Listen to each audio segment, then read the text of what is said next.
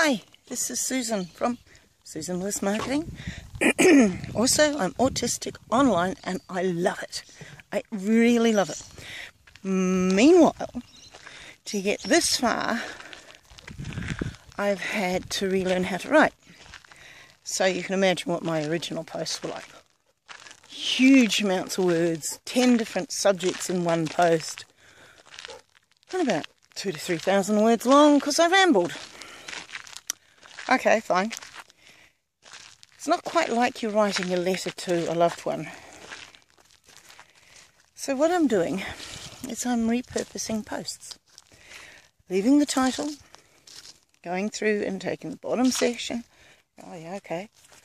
Rewriting that, rewriting the next bit until I get to the very top. Yeah, sure, I'll link them all in and I'll do this and I'll do that and have fun and it takes a while. So my suggestion is repurpose your posts, fine. But come into the organisation, the community I'm with, and get some support because I didn't have that to start with. I spent 15 years online learning how to write, and I still had so much to go. The community is fantastic. It gives you the support to do what you need, and if it's repurpose your posts, then that's what you do.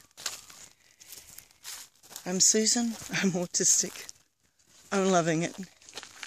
May your day be wonderful, filled with joy. There's a subscribe button below.